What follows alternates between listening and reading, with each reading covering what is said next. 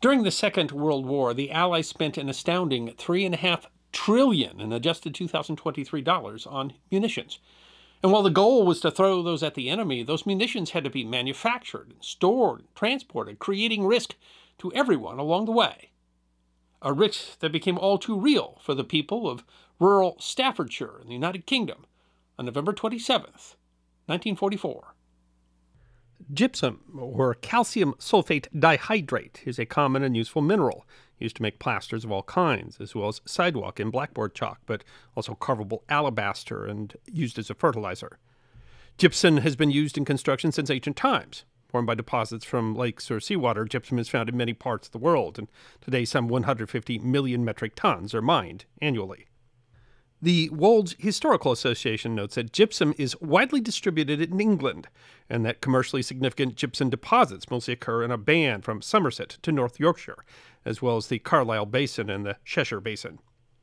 The website mindat.org notes that gypsum has been worked in the vicinity of Fauld, near Tutbury in East Staffordshire, since at least Norman times. In a local history of Tutbury by Helen Lee explains that for hundreds of years, this stone has been quarried or mined for fashioning into alabaster or manufacturing gypsum plaster.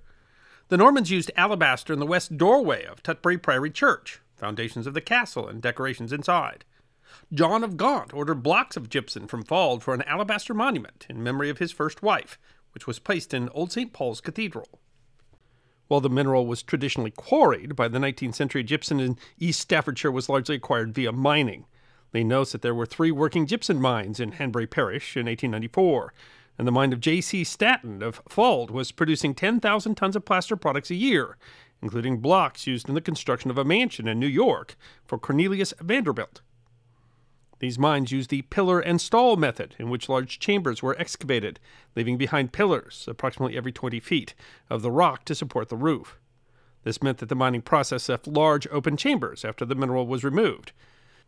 But even with the gypsum mined out, these chambers would find a use. Keith Falconer, head of industrial archaeology at Corsham Stone Mines, explains the idea of bomb proof shelters to protect men in stores is enshrined in much military defense planning since the advent of military explosives. But only with the threat of bombardment from the air did it become necessary to escape the confines of uh, designed fortresses. Falconer explains that the UK Ministry of Munitions started storing munitions in disused mines during the Great War due to the threat of bombardment by Zeppelins. But the need was better recognized and greatly expanded between the wars when the RAF Air Ministry estimated that a war reserve would require nearly 100,000 tons of aerial munitions. Several sites were selected, including some of the empty gypsum mines near Fauld. In her 2012 book, Voices from the Explosion, local historian and eyewitness Valerie Hardy writes that in 1937, as a precaution against the growing threat of Nazi Germany, the Duchy of Lancaster sold part of one of Peter Ford's gypsum mines to the Air Ministry Military historian John Reed noted in After the Battle magazine in 1977 that the Fauld mines were 90 feet below the surface and sufficiently capacious to accommodate up to 10,000 tons of high explosive bombs, although the facility would be greatly expanded as demands increased, with Hardy noting that this storage was increased to 24,000 tons later in 1937. Hardy writes that the company of Peter Ford and Sons continued mining seams of gypsum in an adjacent mine and operated a plasterworks on the surface. Lee writes that the passages were 12 feet high and 20 feet wide and had space for trucks. Inside the atmosphere was clear air at 55 degrees Fahrenheit. Reed notes the precautions were taken in the design of the storage, including a two and a half foot thick concrete roof lining and the erection of a 50 foot barrier between the incendiary storage area from the high explosive storage. But Hardy writes that whereas in the innermost part of the store where the high explosive bombs were stored was an overhead protective cover of 90 feet, the depth of Earth's coverage above the incendiary storage area was only 60 feet, and above the detonator storage area, which was the most sensitive of all, the depth was barely 40 feet. A light railway was also built to connect the facility to a main line about a mile away. The facility was manned by the newly constituted 21 Maintenance Unit, RAF Fauld, and by 1940, Hardy writes, had become the RAF's showpiece ammunition store but despite that fact, Harding notes that in the interest of wartime security, the existence of the ammunition depot was officially not known to the local people. She writes that while most people were aware that bombs were being stored in the disused mines, no one was in a position to appreciate fully the huge amount of high explosive bombs and other ammunition stored in the labyrinth of caverns. The facility continued to be expanded, and in early 1944 received a detachment of United States Army Air Force personnel, aiding in the handling of large 1,000 pound and 4,000 pound high explosive bombs for the Army Air Force preparations for D Day, which Reed describes as the heaviest and most difficult to handle of the many new types of armament stored underground. And with more labor needed, 194 Italian prisoners of war from nearby Hilton Prisoner of War Camp were also employed at the facility, something allowed after the September 1943 armistice of Cassibile. Hardy writes that as the relentless demands of Bomber Command intensified in the build-up to the D-Day landings and continuing Allied advance in the months which followed, Munitions Unit Number 21 RAF Fauld was working at a full stretch, up to 20,000 tons of bombs per month. Hardy also notes that in addition to storing and issuing ammunition, the facility also had responsibility for inspecting and repairing jettison bombs a job that was handled by civilian employees of the Armaments Inspectorate Department, or AID. This work was done in an area called Exploder Pocket. However, the expansion of the facility did cause problems, as Reed notes. There were few amongst the new arrivals who had more than a rudimentary knowledge of the hazards involved in handling explosives. And more distressingly, the position of Chief Equipment Officer, supposed to be the senior specialist in handling explosives, had been vacant since September 1944, because, as Reed writes, no suitable officer could be found to fill it.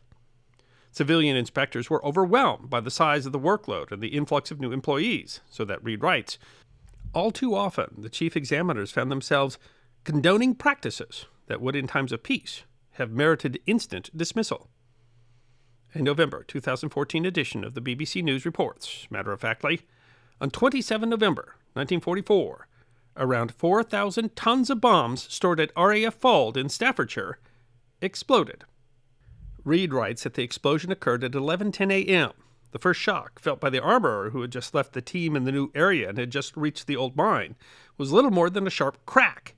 Then came a long, drawn-out explosion with a violent blast that hurled all who stood in its path to the ground. In 1956, the London Daily Herald quoted Joseph Clifford Salt, who was in charge of civilian staff in the mine. The first was like an ordinary 500 pounder going off, and I was not too worried. Then came the second explosion, and that was different. Hell, I said to myself, what happened? Valerie Hardy was eight years old at the time. A resident of Fauld House Farm, she and her sister were at school that day. She told the BBC, We heard this enormous bang. People didn't know what was happening. Classmate Margaret White told the Derbyshire Evening Telegraph in 1999 the teacher was talking to us, and all at once the ground sort of heaved up. The next thing we knew, the windows were shattering and falling in. Hardy quotes Doug Archer of Hanbury riding a horse nearby. There was a blinding flash, and it looked like a great mountain in front of you. The stuff stood up so high, pieces as big as railway engines were going up in the sky. We just stood and watched. Philip Chandler was an RAF crewman working at a bomber training base, RAF Church Broughton, some five miles away. He recalled to the Evening Telegraph, I felt pressure on the ears, rather like that experience sometimes in a train going through a tunnel. He looked toward Tutbury and saw a huge cloud of dust, smoke, and flying debris. William Shelley was working in a field. When the ground I was standing on shook under my feet, and then I heard a great bang and looked across and saw it was like a mountain in the air, and then stones and earth fell all about me. Salt told the Daily Herald, Along the tunnel in front I could see a cloud of dust coming towards me. There was a second, like thunder rumbling in the distance and rolling nearer. Then the lights went out, and the suction from a gigantic explosion bashed me out of the office had aches and pains for a month after it. The explosion was the largest to have ever occurred in the United Kingdom. Hardy writes The Fauld explosion, the biggest of the Second World War so far, had occurred at a military site, but its effects were predominantly the destruction of civilian life and property. Lee writes the entire mine was not destroyed, but the hills housing the mine completely disappeared. Virtually every house in Hanbury Village was severely damaged. The Cock Inn lost half of its roof, and Upper Hayes Farm completely vanished. In Tutbury, chimney pots and roofs were shattered, and two church steeples in Burton were cracked. One had to be taken down. The blast was heard as far south as Daventry, 19 miles south of Coventry, and at Weston-super-Mare. Seismographs recorded the shock waves at Casablanca. Joseph Foster, manager of a nearby plaster mine, recalled just one tremendous roar. Going outside, he told the Daily Herald the whole face of the landscape was different. Castle Hayes farm had completely disappeared and when I walked back from the shaft, I found it difficult to get my bearings. Les Calladine was a member of the mine rescue team that responded to the tragedy. Arriving some six hours after the blast, he recalled the explosion had taken place approximately half a mile into the pit and had taken everything in the vicinity up with it, including a farm and two cottages on the surface. Not even a brick could be found that resembled coming from a building. The only things visible were dead horses, cattle, and the odd mattress, all of which were covered in falling debris. The recollection of John Heath, a schoolchild at Burton upon Heath, was recorded by the North Hertfordshire Museum. In the area of the explosion, the earth moved. A 300 acre farm, including people, animals, tractors, carts, and buildings, was completely blown away. The entire topsoil from a square mile of land went up and came back to earth up to 11 miles away. One man who survived had been cutting a field of roots at the edge of a wood. He reported that he watched an entire two and a half acres of woodland went up into the air and out of sight. Some trees returned to earth, being hurled so deep into the ground that farmers plowing their land came upon them, roots first. One man, when he came to, did not know where he was because not a single landmark remained to remind him of where he grew up. In Burton, chimneys toppled and buildings cracked. But there was another threat, Reed writes. 200 yards from the center of the explosion, there was a 30 foot high dam, 35 feet wide at its base and 14 feet at the top, which retained an artificial lake covering an area of half an acre. The water from the lake was used by the Peter Ford Plaster and Cement Works, used when the gypsum being mined was converted into plasterboard. The dam literally distorted in the upheaval that accompanied the explosion, crumbled and released the contents of the reservoir, which swept in a torrent 200 yards towards the gypsum works, Reed writes. Foster told the Daily Herald, We later discovered the fish in it had been blown hundreds of feet away. The flood of mud and debris buried the mill and the men working inside. It swept across the countryside, killing, it is presumed, 37 people. The plaster works were never rebuilt, although the mine still operates today. It's unclear exactly how many died that day. The official report said 90, but a memorial at the National Memorial Arboretum lists 70, including one mine rescue worker who died overcome by toxic fumes in the mine. At the time, the Burton Observer and Chronicle listed among the dead Edmund Wesley, a plaster mine worker and former clever halfback footballer, George Priestley, a mine worker and football enthusiast who had five sons serving overseas, Joseph Cooper, locomotive driver, Arthur Harris, mine foreman, RAF Corporal A. Dunrose, and three unnamed Italian POWs. The government couldn't keep an explosion that size completely secret. It was reported at the time, but the reporting was extremely limited and couldn't even mention RAF Fauld. It was called the Staffordshire Explosion. There was a court of inquiry into the accident, but the results were not made public until 1974. The court found that the explosion was likely caused by an airman who was using a brass chisel to remove a fuse from a bomb, something that was strictly prohibited because it could cause sparks, which likely caused the resultant explosion.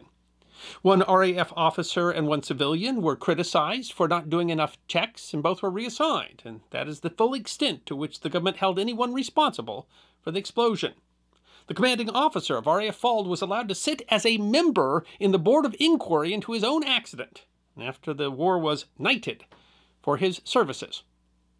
The men of the Ilkeston Mine Rescue Team were commended by the Air Ministry for their efforts in the recovery operation, and local communities raised a memorial fund that made payments to victims and their families. Today, there are two memorials to the dead from the RAF Fauld explosion, one that was erected in 1990 and one in 2014, as well as, of course, the still visible crater, 100 feet deep and 1,000 feet wide. In 2014, the Derbyshire Evening Telegraph lamented that the Fauld explosion is a nearly forgotten and underappreciated disaster outside the immediate area.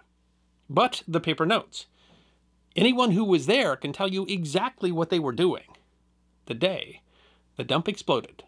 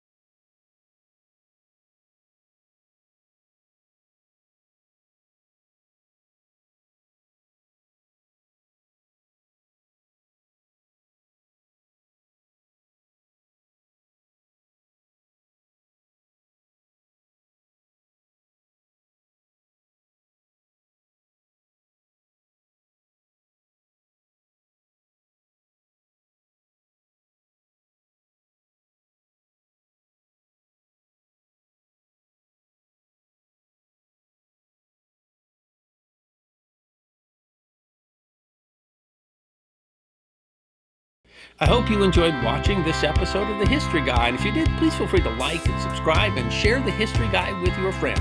And if you also believe that history deserves to be remembered, then you can support The History Guy as a member on YouTube, a supporter on our community at Locals, or as a patron on Patreon. You can also check out our great merchandise shop or book a special message from The History Guy on Cameo.